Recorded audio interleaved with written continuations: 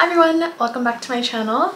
So I am here in London and I've been here for about a month now and as you may have noticed from my previous videos I brought a very small travel capsule wardrobe for about a month long trip initially and I am staying here longer and also it's got got much cooler. And so for today's video, I wanted to show you some of the new pieces I've added to my wardrobe recently and also talk you through how I plan for autumn and winter. And most of the pieces are from Sézane, which is a brand that I've just been really loving lately. Everything that I've tried from them, the quality is amazing and they have really classic and timeless styles. So I'm just really enjoying this brand at the moment. So I am going to show you four pieces from Sézane and then one other piece that I picked up a little while back that you might have seen in one of my previous videos. So the first piece I want to talk about is the Jaun tank top from Sézane, which you can't really tell when I'm holding it up, but it actually has this really beautiful like soft square neckline I think it's very flattering and I also just love any type of tank top that has wider straps. This is sort of like a racer back style. I did have another tank top from Sézane that was a really similar style except it came up really high and was a crew neck. I actually had to get rid of that because it got really stained because I was wearing it so often. So this time I went for a solid black color instead and it is just like a really simple ribbed jersey material, really comfortable and a great fit. On this one I went with a size medium, which is my typical size. And I think I've mentioned this in previous videos, but I really like the wardrobe basics that Sézane does. I think they're really high quality and compared to other like sustainable brands, I think that the price point is not that far off really. So if you're looking to you know, get a really high quality t-shirt that you know will last through lots of washes and wear and tear, um, I think Sézane is a great place to start and it's a bit more accessible internationally I would say and I think that the brand itself is more known for like their knitwear and their outerwear and stuff but yeah I have found a lot of luck with their just like basic wardrobe staples. The next piece I want to talk about is this off-white crew t-shirt from Sézane. I believe this is called the Martha t-shirt.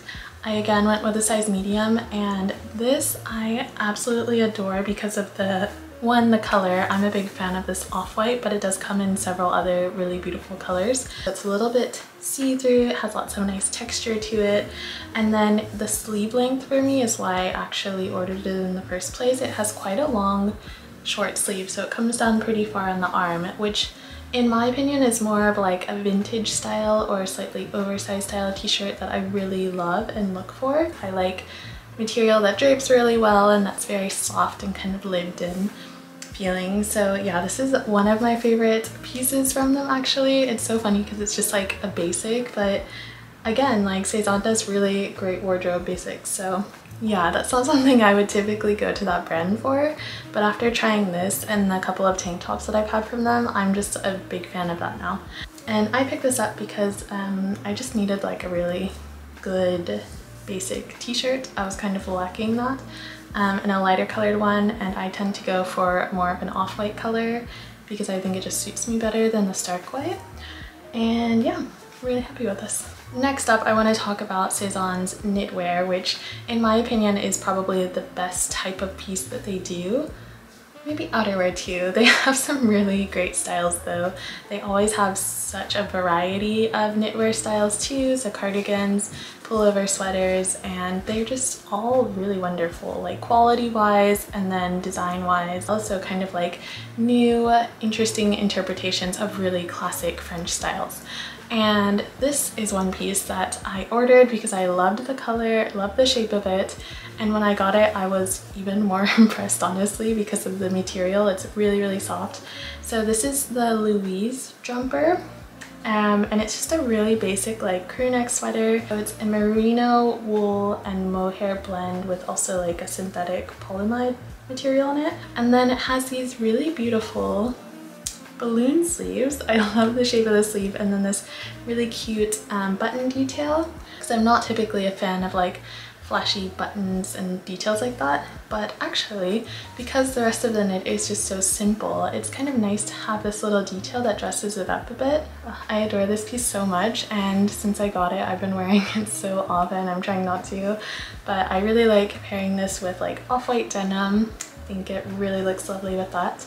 It's a nice um, navy blue if you can't tell Um, often when I go for natural like mohair, it can be a bit itchy, but this one is just incredibly soft, like even softer than any of the cashmere pieces that I've tried.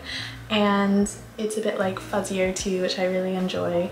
And it's just like the coziest, warmest piece ever and was something that I was really lacking in my wardrobe was just like a nice cozy knit like this.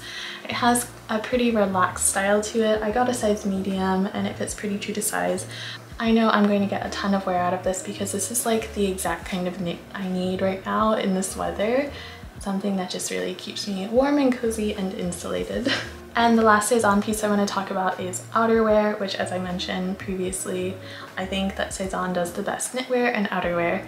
Um, for example, the classic trench coat that they do is one of my favorite pieces of theirs.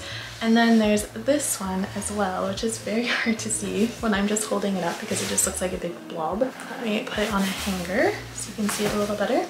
Here we are. This is the Leo coat which is a short coat and I would say it's kind of like a fisherman style coat. I don't know exactly what you would call this style, but it does have a really high collar and this little piece that goes over the front. And then the material of it is kind of this, I want to say it's like a boucle type material. So it's quite fuzzy and textured. And then it has these really cute large pocket details on the front that like flap up, but then there's pockets on the side too. And these really cute big buttons that are plastic, so I'm not the biggest fan of them but I like that they just kind of blend in with the coat. So this has a very large oversized boxy fit to it and I would probably recommend going with either your normal size or even sizing down too. This one I actually under the size 38 when I probably should have sized down one. Yeah, otherwise I'm a very big fan of this. Um, I really like that it's in this really classic kind of menswear inspired style and yeah it feels very cute and feminine and just like the perfect coat for this time of season because it is a shorter coat too so it's not super long and heavy like more of a winter coat would be. And Sézane does have a really nice longer more tailored coat that's um, maybe hits around like thigh length so if you're looking for something a bit more dressy maybe that would be a better option but otherwise I would say this is a really great all-around coat for autumn and winter.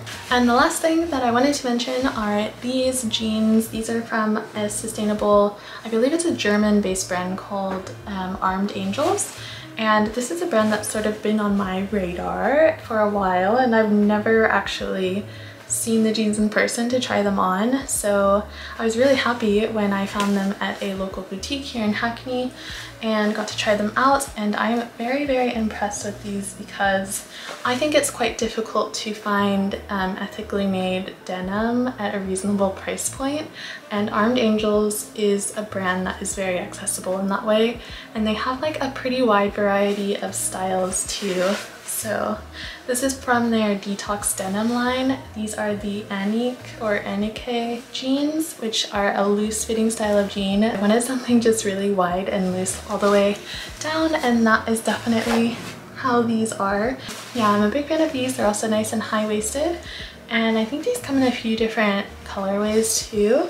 Yeah, but it's quite a sturdy denim, so it reminds me a lot of like, you know, vintage Levi's. There's not a lot of stretch in them, which is something that I tend to look for in denim. I like quite a sturdy, more like workwear inspired type of denim. I do think these also run a bit large too, because I have size 25 and I usually wear like a 26 or 27 so that's something to keep in mind if you are ordering them online or better yet if you can just try them on in person that's probably the best way to go.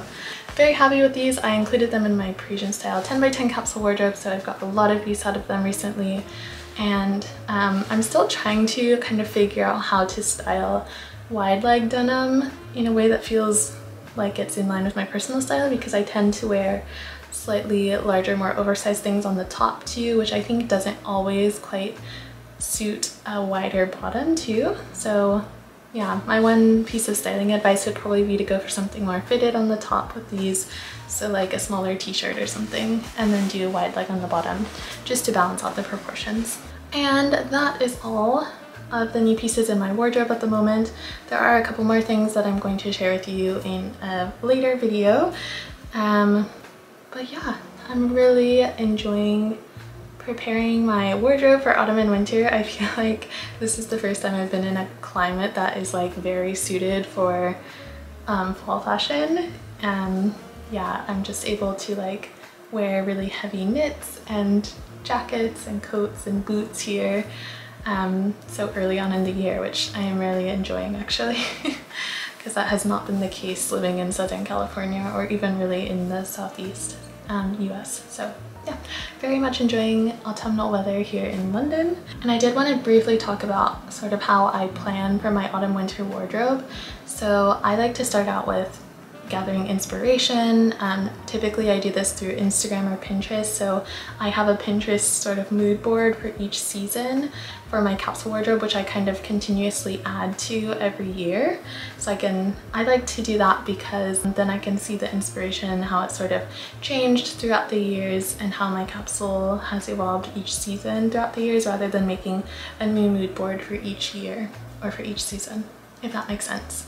Um, I also really like to just like save pictures on Instagram to refer to later. Typically I'll do this if I really like how somebody styled a piece that I have in my wardrobe. So if someone I see on my feed is wearing like a pair of straight leg white jeans with black boots I have when I see it I make a mental note of it like oh I have those two pieces in my wardrobe and I have not thought to style them in that way so I'll save that and refer back to that when I need some outfit inspiration um, and then I like to also kind of compile a loose sort of shopping list for myself if there are pieces that I really need in my wardrobe. This is not something that I do every season though because I think that my wardrobe has kind of got to a place where I don't really need to shop each season.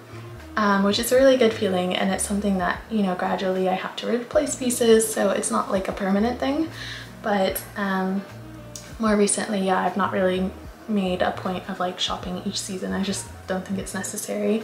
Um, but if I am looking for something specific, I'll have it on my shopping wish list and sort of refer back to that for um, you know, a few weeks or a few months and shop around. I think that for me, shopping from solely like ethical and sustainable brands really slows down that entire process because I can't just pop on ASOS and find, you know, the trendy version of what I'm looking for.